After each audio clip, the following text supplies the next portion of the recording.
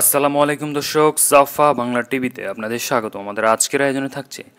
সৌদিতে প্রবেশের অনুমতি পেল বাংলাদেশ সহ পঁচিশ দেশ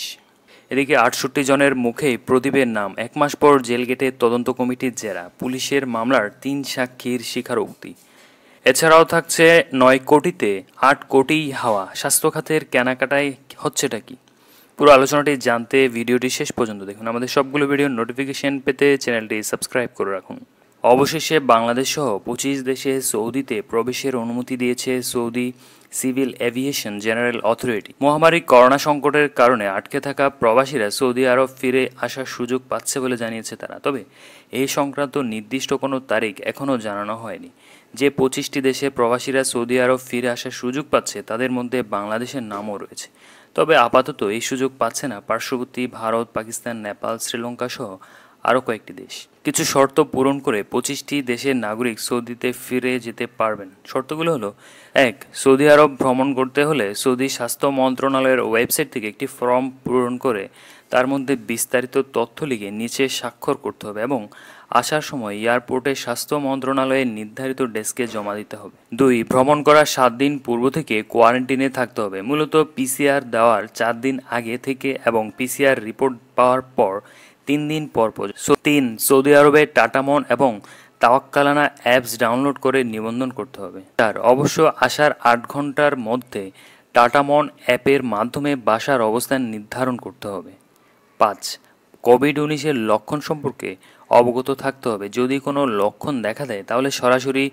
নাইন থ্রি সেভেন নম্বরে ফোন করতে হবে অথবা সাধারণ স্বাস্থ্যকেন্দ্রে গিয়ে চিকিৎসা নিতে হবে ছয় আপনাকে টাটামন অ্যাপসের মাধ্যমে প্রতিদিন স্বাস্থ্যের অবস্থা জানাতে হবে এবং আপনি কোয়ারেন্টিন থাকাকালীন সৌদি স্বাস্থ্য মন্ত্রণালয়ের নির্দেশিত ফর্ম অনুযায়ী পদক্ষেপ গ্রহণ করতে হবে এদিকে প্রায় এক মাস পর অবশেষে মেজর অবসর সিনা মোহাম্মদ রাশেদ খান হত্যা মামলার অন্যতম আসামি ওসি প্রদীপ কুমার দাসকে জিজ্ঞাসাবাদ করার সুযোগ পেয়েছে স্বরাষ্ট্র মন্ত্রণালয়ের তদন্ত কমিটি গতকাল বুধবার সকালে কমিটির প্রধান চট্টগ্রামের অতিরিক্ত বিভাগীয় কমিশনার মিজানুর রহমানের নেতৃত্বে চার সদস্যের কারাগারে যান টানা সাড়ে পাঁচ ঘন্টা সিনা হত্যাকাণ্ড সম্পর্কে তারা ওসি প্রদীপকে জিজ্ঞাসাবাদ করেন জেরা শেষে জেল গেটেই তদন্ত কমিটির প্রধান মিজানুর রহমান সাংবাদিকদের জানান মেজর অবসর সিনা হত্যাকাণ্ডের সাথে ওসি প্রদীপের সংশ্লিষ্টতা সহ অত্যন্ত গুরুত্বপূর্ণ তথ্য পেয়েছে তারা এ পর্যন্ত তারা আটষট্টি জনের সাথে কথা বলেছেন প্রায় সকলের বক্তব্যে ওসি প্রদীপের সংশ্লিষ্টতার কথা রয়েছে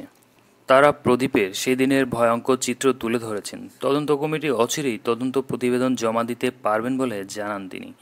জানা গেছে ওসি প্রদীপ সিনহা হত্যার সাথে তার জড়িত থাকার বিষয়ে রহস্যজনকভাবে নিরবতা পালন করলেও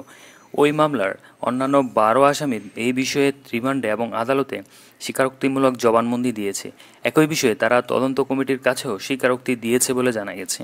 তিন সাক্ষীর স্বীকারোক্তি পুলিশের গুলিতে মেজর অবসর সিনহা নিহতের ঘটনায় পুলিশের দায়ের করা মামলার তিন সাক্ষী একশো চৌষট্টি ধারায় স্বীকারোক্তিমূলক জবানবন্দি দিয়েছে আদালতে দোসরা সেপ্টেম্বর সোমবার সকালে কঠোর নিরাপত্তার মধ্য দিয়ে তিন আসামিকে আদালতে তোলা হয় সকাল সাড়ে দশটা থেকে বিচারক তামান্না ফারার আদালতে জবানবন্দি রেকর্ড করা শুরু হয় বিকেল সাড়ে তিনটার দিকে শেষ হয় আদালতে স্বীকারোক্তির রেকর্ড করার পর তাদেরকে কারাগারে পাঠানো হয়েছে এ সময় মামলার তদন্তকারী কর্মকর্তা খায়রুল ইসলাম জানান আসামিরা রিমান্ডে যা বলছে আদালতে তা স্বীকারোক্তি দিয়েছে এই তিন আসামি হল টেকনাফের মরিশবরিয়া এলাকার নুরুল আমিন নিজামুদ্দিন ও মোহাম্মদ আয়াস এর আগে আরও দুই দফায় হেফাজতে নিয়ে তাদের জিজ্ঞাসাবাদ করেছে র্যাব তৃতীয় দফায় রিমান্ডে তারা স্বীকারোক্তি দিয়েছে এরা সিনহা হত্যার ঘটনায় পুলিশের করা মামলার সাক্ষী হল সিনহার ভোনের করা মামলায় তারা আসামি আর দুই মামলার আবেদন টেকনাফের মুসা আকবর ও শাহাবুদ্দিন নামের দুই ব্যক্তিকে কথিত বন্দুকযুদ্ধের নামে ক্রসফায়ার হত্যার অভিযোগে টেকনাফ থানার বরখাস্ত হওয়া ওসি প্রদীপ কুমার দাসসহ তিপ্পান্ন জনের বিরুদ্ধে একদিনে আরও দুটি মামলা আবেদন করা হয়েছে সিনিয়র জুডিশিয়াল ম্যাজিস্ট্রেট হেলাল আদালতে এই দুই মামলার আবেদন করা হয়েছে নিহত মুসা আকবরের স্ত্রী শাহান আক্তার ও শাহাবুদ্দিনের বড় ভাই হাফেজ আহমদ বাদী হয়ে এই দুই মামলার আবেদন করেন বাদীপক্ষের আইনজীবী রিদওয়ান আলী সাংবাদিকদের এই তথ্য জানান একটি মামলায় ওয়াংকাইন ফারির ইনচার্জ মশিউর রহমানকে প্রধান ও প্রদীপ কুমার দাসকে দুই নং এবং অন্য মামলায় এসআই দীপক বিশ্বাসকে প্রধান এবং ওসি প্রদীপকে তিন নম্বর আসামি করা হয় নিহত মুসা আকবরের মামলা এজাহারে বাদে উল্লেখ করেন গত গত সাতাশে ফেব্রুয়ারি পুলিশ ওয়াইংকং ইউনিয়নের খারাইঙ্গা ঘোনা নিহত মুসা আকবরের বড় ভাই আলী আকবরের বাড়ি পুড়িয়ে দেয় টেকনাফ থানার একদল পুলিশ ওই ঘটনা কক্সবাজার প্রেস ক্লাবে একটি সংবাদ সম্মেলন করে তাদের পরিবার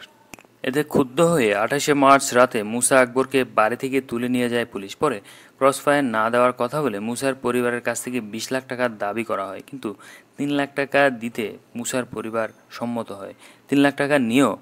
ওই দিন ভোরে মুসা আকবরকে কথিত বন্দুকযুদ্ধের নামে গুলি করে হত্যা করা হয় বাদীপক্ষের আইনজীবী রিদওয়ান আলী বলেন ফৌজদারি মামলার এজাহারটি আমলে নিয়েছে ওই ঘটনা সংক্রান্ত অন্য মামলা হয়েছে কিনা তা আগামী দশ কার্যদিবসের মধ্যে জানাতে টেকনাফ থানার ওসিকে নির্দেশ দিয়েছে আদালত অন্যদিকে নিহত শাহাবুদ্দিনের মামলার এজাহারে বাদী উল্লেখ করেন দুই সালের সতেরোই এপ্রিল টেকনাফে দুপুরে এসআই দীপক বিশ্বাসের নেতৃত্বে একদল পুলিশ শাহাবুদ্দিন তার বাড়ি থেকে তুলে নিয়ে যায় পরে ক্রাসফায়ার না করার কথা বলে তারা পরিবার থেকে পাঁচ লাখ টাকা দাবি করে তার পরিবার পঞ্চাশ হাজার টাকা দেয় কিন্তু আরও চার লক্ষ পঞ্চাশ হাজার টাকা না দেয় বিশে এপ্রিল রাতে কাঞ্জারপাড়া ধানক্ষেতে কথিত বন্দুকযুদ্ধের নামে শাহাবুদ্দিনকে গুলি করে হত্যা করা হয় এই মামলার বাদীপক্ষের আইনজীবী জানান ফৌজদারি মামলার এজাহারটি আমলে নিয়ে ওই ঘটনা সংক্রান্ত অন্য কোনো মামলা আছে কিনা তা আগামী পনেরো কার্যদিবসের মধ্যে আদালতকে জানাতে নির্দেশ দেওয়া হয়েছে টেকনাফ থানার ওসিকে অপরদিকে কোভিড উনিশ emergency response and pandemic preparedness ERPP প্রকল্পে কেনাকাটায় বড় ধরনের পুকুর চুরির ঘটনা ঘটেছে এতে করোনা ভাইরাসে মহামারী মোকাবেলায় নয় কোটি বিশ লাখ ষাট হাজার টাকার মাস্ক ও ইনফ্রায়েড থার্মোমিটার কেনার ক্ষেত্রে আট কোটি আঠাশ লাখ চুয়ান্ন হাজার টাকার অনিয়ম দুর্নীতির মাধ্যমে জোড়াতালি দিয়ে হাতিয়ে নেওয়া হয় শুধু তাই না প্রচলিত ক্রয়নীতির কোনো কিছুই অনুসরণ না করে এমনকি ঔষধ প্রশাসন অধিদপ্তরের এনওসি ছাড়াই চোরাচালানের মাধ্যমে চীন থেকে নিয়ে আসা হয় নিম্নমানের মাস্ক ও থার্মোমিটার ফলে দুর্নীতির মাধ্যমে জনগণের করের অর্থ মোটা অঙ্কের একটি অর্থ হাতিয়ে নেওয়া ছাড়াও এতে আরও অনেক অনিয়মের খোঁজ পাওয়া গেছে এসব অনিয়ম দুর্নীতির যথাযথ তদন্তের মাধ্যমে জড়িতদের শাস্তির আওতায় আনার বিকল্প নেই আসার কথা এরই মধ্যে এই অর্থ লোপাটের বিরুদ্ধে র্যাবের মাধ্যমে মামলা হয়েছে এবং র্যাব বিষয়টি তদন্ত করছে প্রকৃত দোষীদের শাস্তি নিশ্চিত করার জন্য সব কিছু স্বচ্ছভাবে তদন্ত করা হবে বলে আমার আশা উদ্বেগের বিষয় কেবল যে ইআরপিপি e প্রকল্পে বড় ধরনের দুর্নীতি হয়েছে তাই নয় করোনাকালীন স্বাস্থ্য অধিদপ্তরের বিভিন্ন কেনাকাটায় অনেক অনিয়ম দুর্নীতির তথ্য বেরিয়ে এসেছে বস্তুত কেবল করোনাকালীন নয় আমাদের স্বাস্থ্য খাতে কেনাকাটা বিভিন্ন প্রকল্পের অনিয়ম দুর্নীতিসহ বড় ধরনের সমস্যা জেগে বসেছে করোনা মহামারীর সময় স্বাস্থ্য খাতের অনিয়ম দুর্নীতি আগের যে কোনো সময়ের চেয়ে বেশি প্রকাশ্যে এসেছে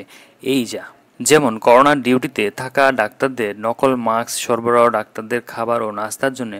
অবিশ্বাস্য বিল তৈরি করা নতুন নিয়োগ পাওয়া ডাক্তার ও নার্সদের নিয়োগ ও পদায়নে অনিয়মের আশ্রয় নেওয়ার মতো জঘন্য অনিয়ম সামনে এসেছে এ সময়ে এমনকি স্বায়ত্তশাসিত বঙ্গবন্ধু শেখ মুজিব মেডিকেল বিশ্ববিদ্যালয়েও নকল ও মানসম্মত মাস্ক সরবরাহ ঘটনা ঘটেছে বলার অপেক্ষা রাখে না এগুলো স্বাস্থ্য খাতে বছরের পর বছর চলমান দুর্নীতি অনিয়মের প্রচলনকেই আঙ্গুল দিয়ে নির্দেশ করছে করোনার আগে ফরিদপুরের মেডিকেলে পর্দা কেলেঙ্কারি সোরদি মেডিকেল ও হৃদরোগ ইনস্টিটিউটে কয়েকগুণ বেশি দামে সামগ্রী কেনাকাটা এবং চট্টগ্রাম মেডিকেল বিশ্ববিদ্যালয়ে প্রকল্পে অস্বাভাবিক দামে বিভিন্ন সরঞ্জাম সংগ্রহের প্রস্তাব থেকে বিষয়টি অনুমোদন করা যায় স্বাস্থ্যখাতে এমন নৈরাজ্যমূলক অবস্থা যেমন একদিনে তৈরি হয়নি তেমনি দীর্ঘমেয়াদী ও কার্যকর পদক্ষেপ না নিলে জেকে বসা অনিয়ম দুর্নীতির মূলোৎপাটন সম্ভব নয় এ অবস্থায় করোনার চোখে আঙ্গুল দিয়ে দেখিয়ে দেওয়া নাজুক মেডিকেল খাতের বিশেষ নজর দিতে হবে দুর্ভাগ্যের বিষয় সরকার তো বটেই আমাদের স্বাস্থ্য খাতের বেসরকারি অংশ অনিয়ম দুর্নীতির ভর করছে করোনা টেস্ট না করে রিপোর্ট দেওয়া সরকারের কাছ থেকে বিল নেওয়ার পরও অসহায় রোগীদের কাছ থেকে ইচ্ছামতো অর্থ আদায়ের ঘটনা দেখা গেছে কয়েকটি কোভিড ডেডিকেটেড হাসপাতাল ও ডায়াগনস্টিক সেন্টারের পক্ষ থেকে সে সরকারি বেসরকারি হাজার ও হাসপাতাল ক্লিনিক থাকার পরও ফুরসত পেলে রোগীরা যে প্রতিবেশী বিভিন্ন দেশে চিকিৎসার জন্য চলে যায় তার কারণ এসব দুর্নীতি অনিয়ম সময় এসেছে স্বাস্থ্য খাতের অনিয়ম দুর্নীতি দূর করে মৌলিক অধিকার হিসেবে মানসম্মত স্বাস্থ্যসেবা নিশ্চিত করার